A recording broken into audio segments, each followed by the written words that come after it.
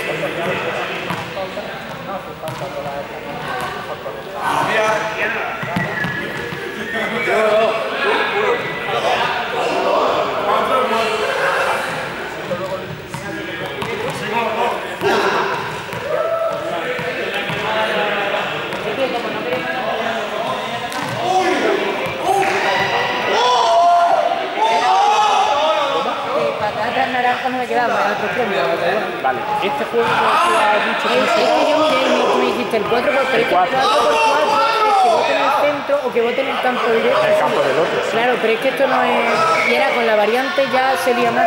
Por eso es que, en plan, lo podía lo he referenciado. Yo creo que su mecanismo, pero esto es como.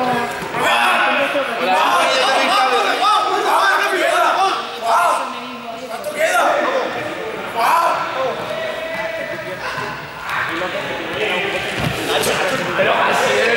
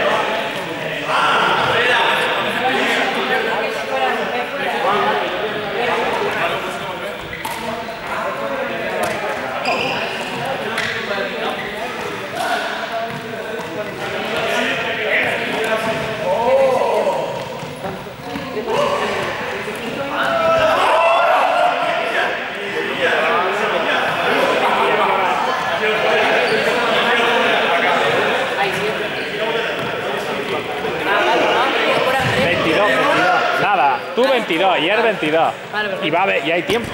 Vale, vale, vale. Si haces la cuenta ya verás cómo sale.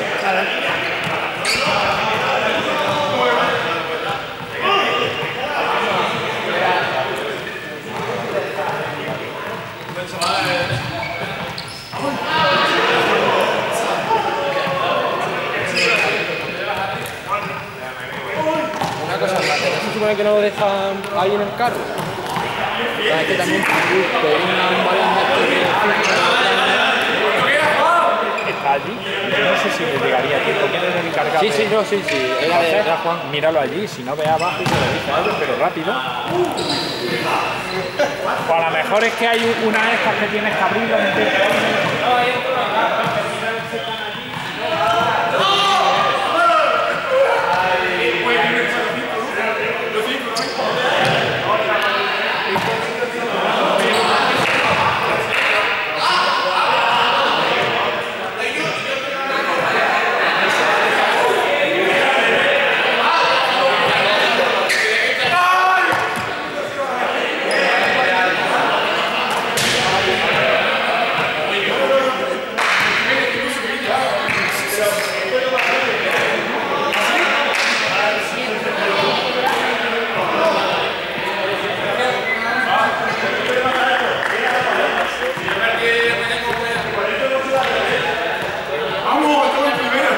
Venga Ángel, que estoy grabando.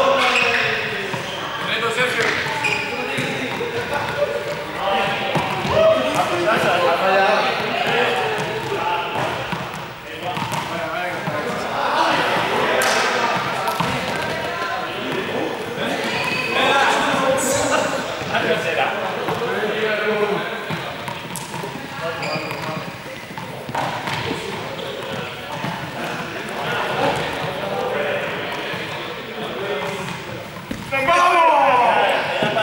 Da puta.